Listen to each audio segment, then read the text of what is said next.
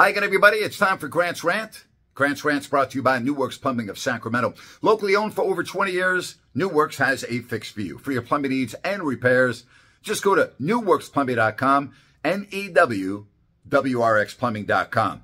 Cowboys beat the Titans last night on Thursday Night Football. Dallas is now 12 and 4. But I've got a question for you. If you're a Cowboys fan, do you really have a lot of confidence in Dak Prescott? Is he not the most overrated quarterback, at least by salary in the NFL? I mean, Dallas is paying him an average of $40 million a year.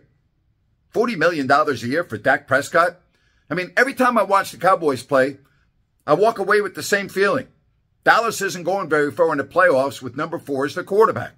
I mean, he's better than average, but I don't think he's that much better than average. Last night, two more picks. One was really bad.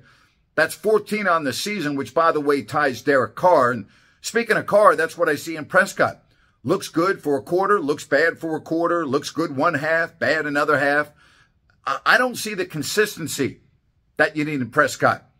I don't see it at all. I just think the guy is vastly overrated. And I think he is the weak link on the Cowboys, who have a good defense. They have a big time star in Micah Parsons. They can run the ball. They got wideouts. They have tight ends. Their quarterback. You don't know what you're going to get. Game in, game out from Dak Prescott.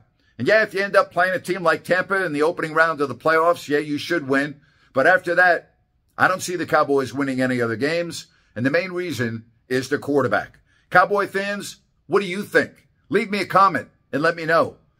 Yay or nay on Dak Prescott. And that's my rant for today. Hey, we're also brought to you by Fosters and Paws, a group of animal advocates. They work primarily with dogs and shelters. They're looking for fosters and adopters. Just go to fostersandpaws.org. Hey, join me later today on YouTube, 3 o'clock Pacific. Sean Salisbury joins me. We talk college football playoffs.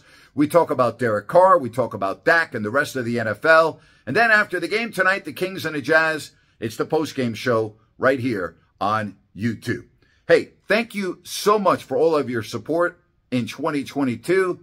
Happy New Year, everybody. And thanks for checking out my rants on a daily basis. Be safe. Enjoy the weekend. And again, Happy New Year.